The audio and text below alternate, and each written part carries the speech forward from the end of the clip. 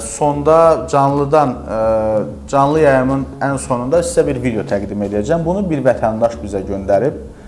Mən öncə təşəkkür edirəm həmin vətəndaşa ki, ə, deməli qorxmayıb, çəkinməyib vətəndaş mövqeyini ortaya qoyub. İçəri şəhər metrosunun arxa tərəfində çəkilib bu görüntülər və görüntülərdən məlum olur ki, bahalı maşınlar metronun arxa tərəfində orada park edilib. Ora park yeri deyil, parkinq yeri deyil və nə mənzərə yaranıb özünüz baxın, qiymət verin və ümid eləyirəm ki, elə günün sabahdan bu məsələ öz həllini tapacaq. Həmin vətəndaşa da müraciət edirəm ki, ora yəqin sizin yolunuzun üstüdür və ə, növbəti gündə məsələ həllini tapmış olarsa bizə o görüntüləri göndərin, zəhmət olmasa və ən sonda ə, deməli bu videonu da hər kəs istəyirəm bax bu görüntüləri paylaşsın ki, məsələ daha tez aktuallaşsın, heç olmasa içəri şəhərə toxunmayaq və təqdim eləyək. Bura İçəri şəhər metrosunun arxa hissəsidir. Bu İçəri şəhərin arxa hissəsində, deməli, metronun üst hissəsində İçəri şəhərə giriş darvazanın qabağında maşınlar parkovkalanır.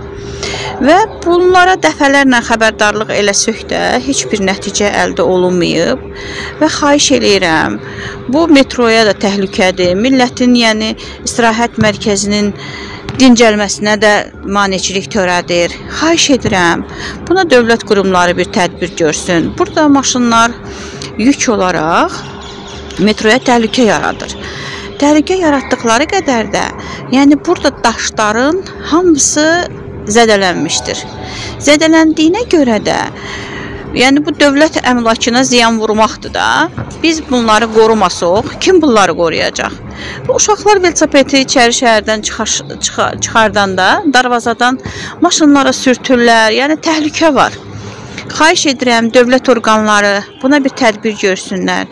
Bura dayanacaq deyil və bu buranı dayanacaq kim eləyib, kimlərin cibinə gedir buranın pulu, kim yığır bu pulu, kim nə məqsədlə buranı zəbt eləyir. Xahiş edirəm dövlət orqanlarına bir tədbir görün ki, yəni bu boydana yeri zəbt eləyirsiniz, dövlətin tikdirdiyi əmlaka ziyan vurursunuz.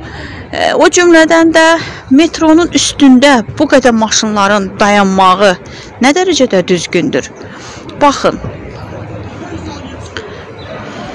Yəni bu hissədə yəni bu günləri demək olar ki, maşın azdır. Bütün günü bu hissələr hamısı doludur və maşın ə, əlindən buradan keçmək olmur. Xahiş edirəm, bunu işıqlandırağın, bir tədbir görülsün.